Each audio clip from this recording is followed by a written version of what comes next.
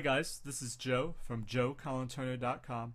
In this video I'm going to show you how to use the fire event for a web element using QTP. Uh, the issue is, in one of my applications recently, I was trying to interact with a search button. And the issue was when I used the click method, it, it didn't work. Uh, basically what should happen is when you click on this search button, this web table should populate with records. So if we click on search, the web table should populate with uh, different rows of information. So let's just go ahead and run the line of code that, do that does a click on the search web element and see what happens.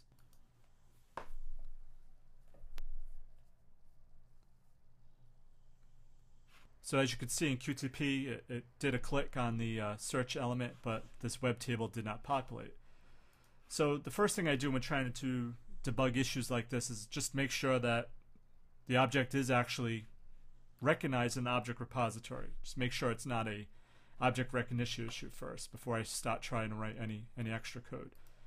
So if we navigate to the object in the object repository and we click on highlight in the application, we can see that it does recognize the object. So the next thing I usually do is um, try using the get return property and return uh, a valid property of the web element object just to make sure that you know at least some methods are working on the object. And so I'm just going to capture the outer text and just make sure, just for a sanity check, that you know QTP is recognizing the object and it is able to interact with it. And so we could see that it does return the expected outer text. So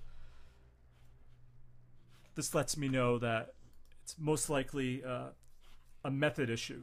You know, the method I used uh, isn't the right method for that particular object to try using some other methods. So the next thing I usually do is I just take a look at the help for the particular object that I'm interacting with. So if we go to the help for the web element, so in the web element object uh, help, we notice all the methods available that you can use with the web element.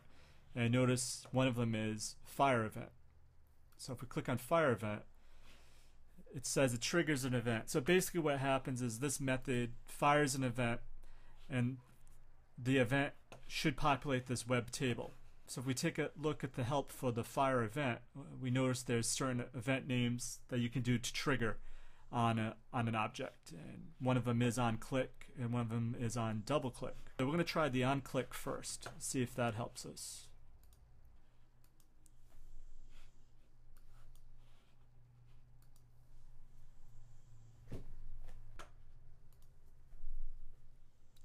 And if we see, unfortunately, the fire event on click didn't work. But you know, always be persistent with QTP, never give up. At least try a, a few uh, different properties of a, of a method. So let's also try the fire event on double click and see if that helps.